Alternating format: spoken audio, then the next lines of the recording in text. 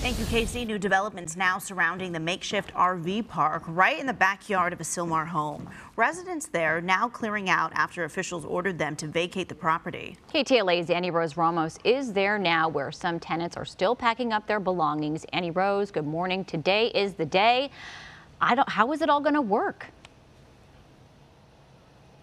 Yeah, that's such a good question, Lauren, because it's a busy morning here. As you can see behind me, there are people packing up that truck, that uh, car as well. This that's a mother that we just spoke to who says that she, her and her child have been renting out a room in one of those RVs, paying anywhere between five and eight hundred a month to the owner. We understand that there are just over 20 RVs and that a judge has ordered everyone off the property this morning. I asked the owner of the house if she plans on leaving. She says she doesn't know and didn't want to comment. But as you can see in that car, people are preparing to leave. They are packing up their belongings and getting ready to go. Another gentleman who I spoke to says he's been living here for the past four months, paying $800 a month for a room in an RV that he was sharing with one other person and that there was just simply nowhere else to go. That rent is so expensive throughout Los Angeles that this was one of the cheapest places that he could find. He was left with no other option. Now, I want to bring in Herendia because you live in this community. You can tell us a little bit more about how this has impacted the general area.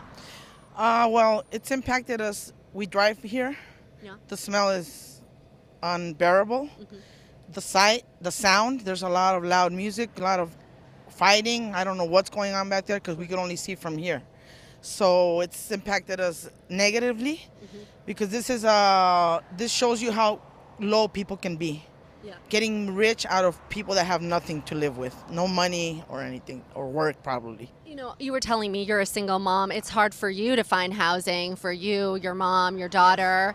You know, talk about the predicament that a lot of these folks are in because you can sympathize. I can sympathize, I understand, but we always got to look for better, not for worse.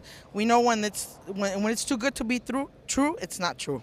It's it's not it's horrible. The conditions they're living in, from what I've seen in the news on TV, mm-hmm. are are the worst. You could look for something better always. And you can you can smell it literally. Oh, as... horrible! Yeah, the smell is like from here all the way to the next light. I'm not kidding. It's that bad from where I live at. I live I live about two lights down, and I could smell it from here, from there too. It's bad, and I could see everything on the floor too, running on the floor. The feces, the liquid. I don't know what liquid that was. Running that, out of this yes, property. running out of this house. Yes. Uh huh. On the sides. You say that you blame more than anyone else the owner of this home behind me. Absolutely, yes, because she's the one that started this mess, taking abusing people. That's for me. That's abuse.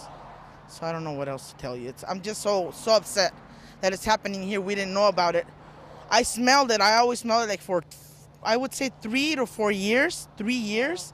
I would smell it, but until uh-huh. I saw it in the news, because you can't, if you look at it, you can't see it from here. No, you have, you would have no idea. No, they hide it, and we would pass by here. We'd say, "Oh, what's that smell?" You know, it was horrible, and it's like, and then we saw the news, and we finally realized, yeah, what it was. Sadly, yes, Sadly. yes. So, Erendia, thank you so much for your time. Um, again, we don't know if the owner plans on leaving the property. We do understand that a lot of the folks who are living inside the RVs have been packing up their belongings, leaving this morning, planning on leaving as well.